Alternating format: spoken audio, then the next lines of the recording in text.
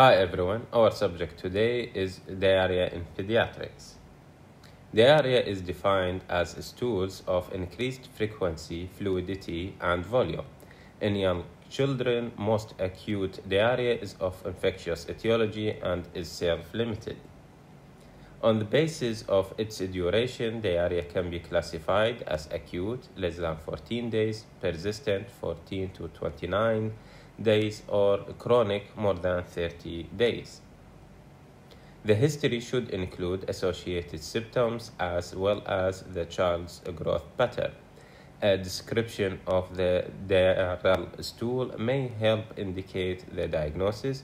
Watery diarrhea may be osmotic due to carbohydrate malabsorption or secretory due to toxins, gastrointestinal peptide, bile acids, or laxatives.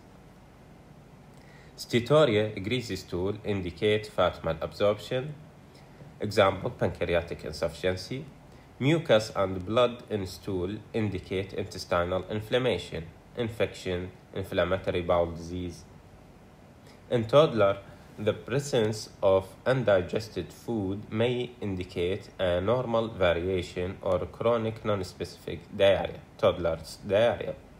Overflow incontinence secondary to constipation and rectal impaction may be mistaken for diarrhea.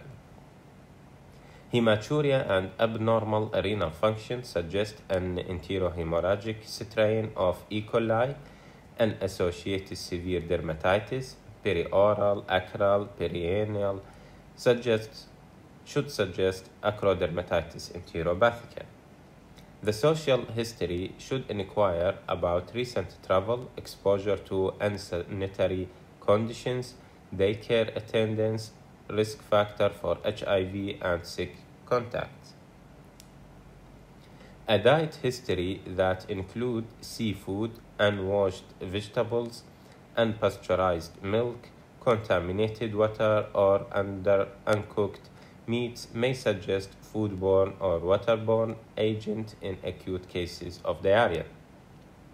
In chronic cases, assessing type and quantity of oral intake, especially fluid selection, is helpful because certain selections may exacerbate diarrhea symptoms by an osmotic load. Inquire whether the onset of symptoms coincided with the change in diet, discontinuation of breast milk or formula, addition of jar foods or cereals, addition of sugar-free or other sorbitol-containing compounds. High fever and seizure have been associated with Shigella E. coli O157H7, an enterohemorrhagic strain, causes a hemorrhagic colitis that is followed by hemolytic uremic syndrome in approximately 10% of cases. Enteroinvasive E. coli may also cause bloody diarrhea. In hemolytic uremic syndrome, watery diarrhea precedes the grossly bloody stool. Abdominal cramping with minimal or absent fever is characteristic. Undercooked beef is most commonly identified source of outbreak. Specific tests must be requested when um, the E. coli strain is suspected. Yersinia and Campylobacter may be associated with prolonged course of diarrhea.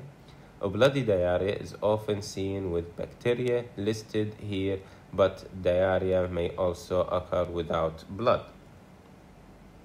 Parenteral diarrhea refers to diarrhea accompanying an infection outside the GI tract.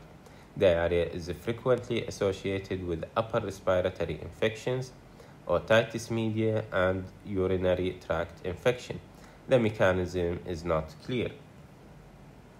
Post-infectious enteritis after acute enteritis is a common cause of prolonged diarrhea. Low-grade mucosal injury is responsible for the metabolisms. In young infant, a secondary lactase deficiency may be a contributing factor. In older infant and children, a hypocaloric, high carbohydrate diet is often responsible for the persistent malabsorption. Approximately 10% of children with the Hirschsprung disease develop enterocolitis. Historical red flags include a history of delayed passage of meconium, preceding constipation, Down syndrome, and a positive family history. Absent stool on rectal examination and immediate passage of stool after the rectal examination are suggested a rectal suction biopsy demonstrating absent ganglion cell in, uh, is necessary for diagnosis. In chronic diarrhea, a finding of leukocyte or occult blood is more suggestive of inflammatory bowel disease than bacterial infection. Cystic fibrosis is characterized by frequent large, foul smelling, fatty stool and not classic loose, watery diarrheal stool when accompanied by history of recurrent respiratory infection and failure to thrive, a sweat chloride test should be done. Infants younger than 6 months tend to present with the failure to thrive. Diarrhea, steatorrhea is more common in older infant and toddler. How to approach to child with diarrhea after performing history and physical examination is the sign or symptom is acute, less than two weeks? If it is yes, this is acute diarrhea, temporarily associated with food intake, other with similar exposure and uh, symptoms. If it is yes, this is food poisoning. If it is no, is there recent medication use? If it is yes, this is antibiotic, laxative, prokinetic agent, drug side effect. If it is no, is there blood or mucus in the stool? If it is yes, stool culture with or without uh, C. difficile toxin, differential diagnosis, bacterial gastroenteritis, Shigella, Salmonella, Campylobacter, Yersinia, enterohemorrhagic E. coli, enteroinvasive E. coli, Aeromonas, and C. difficile.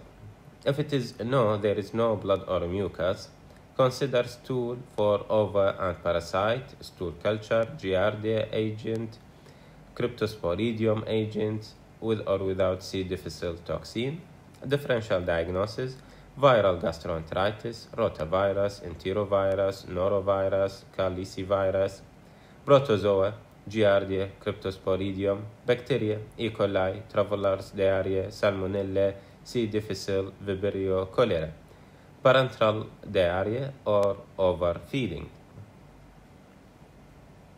If it is chronic diarrhea in infant below 6 months, is there a blood tinged stool? If it is yes, stool culture with or without C. difficile toxin, stool culture, C. difficile toxin. If it is abnormal result, bacterial gastroenteritis with C. difficile. If it is normal, maybe food protein induced enterocolitis. If it is no, there is no blood in the stool, is there weight loss or poor weight gain? If it is yes, consider stool for the blood, white BC, ova and parasite, fat, stool culture, stool for giardia, antigen, C. difficile toxin, uh, complete blood count, ALT, GGT, sweat chloride, stool and serum electrolyte, serum zinc level and immunoglobulins. If it is abnormal result, differential diagnosis, cystic fibrosis, protozoa, giardia, Shwachman-Diamond syndrome, hepatic disorder, cholestasis, immune deficiency, autoimmune enteropathy, congenital chloride, losing diarrhea, bacterial gastroenteritis, acrodermatitis enteropathica. If it is normal, differential diagnosis, food protein induced enteropathy, post infectious enteritis, excessive juice intake, sorbitol, protein calorie malnutrition, Munchausen by proxy, microvillus inclusion disease. If there is no weight loss, the French uh, sent for stool study for ova and parasite, pH reducing substance, stool culture, if it is normal result, differential diagnosis, post-infectious uh, enteritis, protozoa, giardia, cryptosporidium, excessive juice intake, sorbitol, carbohydrate malabsorption, congenital disaccharide deficiency, and bacterial gastroenteritis. If it is normal result, differential diagnosis, post-infectious enteritis, excessive uh, juice intake, Hirschsprung disease. If it is chronic diarrhea in infant more than 6 months of age, consider stool for blood, pH reducing substance, ova and parasite, giardia antigen, cryptosporidium antigen, stool culture, C. difficile toxin. If it is abnormal, differential diagnosis, bacterial gastroenteritis, protozoa, giardia, C. difficile, post-infectious enteritis, disaccharidase deficiency, inflammatory bowel disease. If it is a normal result, as we mentioned, is there weight loss or poor weight gain? If it is yes, consider stool study for white BC, fat, alpha-1, antitrypsin, elastase 1, CBC differential, with differential, ALT, GGT, ESR, C-reactive protein, HIV test, sweat chloride, IgA, anti-tissue transglutaminase, immunoassay, serum immunoglobulin, serum zinc level, if there is rash. Differential diagnosis, post-infectious enteritis, congenital disaccharidase deficiency, HIV, cystic fibrosis, Shwachman Diamond syndrome, celiac disease, immune deficiency, food protein enteropathy, hepatic disorder, cholestasis, inflammatory bowel disease, acrodermatitis enteropathica, protein calorie malnutrition, intestinal telangiectasia. If there is no weight loss, differential diagnosis, excessive juice intake, uh, chronic non-specific diarrhea, toddler diarrhea, post-infectious enteritis, lactose intolerance, irritable bowel syndrome, constipation with overflow incontinence, laxative abuse, Munchausen syndrome or by proxy. Recommended investigation, stool culture for bacteria, antigen, viral antigen for rotavirus. Test the stool with the Clinitest table for uh, reducing substance to confirm lactose intolerance. A blood for electrolyte indicate uh, not is indicated unless the diarrhea is mild and there is uh, little or no dehydration. Top tips. Mothers are usually good historians. Urine frequency and color can give an important estimate of uh, the degree of dehydration. Concentrated urine, orange color, suggest mild dehydration. Infrequent and small amount of urine suggest moderate and anuria means severe dehydration. Toddlers diarrhea, functional diarrhea, is most common cause of chronic diarrhea without failure to thrive. Excessive fruit juice and fructose consumption may play a role in the pathophysiology of this condition. Diarrhea persisting for longer than two weeks termed protracted or chronic diarrhea is mostly due to milk lactose or protein intolerance. Temporary withdrawal of milk and dairy products is usually diagnostic and therapeutic. Large watery diarrhea is associated with diffuse abdominal pain and vomiting is typical for enteritis, usually termed gastroenteritis whereas a small, frequent bloody stool and lower abdominal pain are very suggestive of colitis. Major reduction in diarrhea, morbidity, and mortality over the past decade is due to oral rehydration solution, rotavirus vaccine, and zinc supplementation. Probiotics may be beneficial. The main causes of protracted diarrhea are milk protein and lactose intolerance and celiac disease. Polymer-based oral rehydration solution using rice or wheat has advantage over ORS uh, less than uh, 270 milliosmol per liter and uh, ORS more than uh, 310 milliosmol per liter. The principal complication from diarrhea is dehydration. If a child is alert and playful, the degree of dehydration is insignificant. Red flags. Be aware of harmful practices in the management of diarrhea, with which include restriction of fluid, breastfeeding, and food, and inappropriate medication use. Toddlers' diarrhea is common and should not be misdiagnosed as gastroenteritis.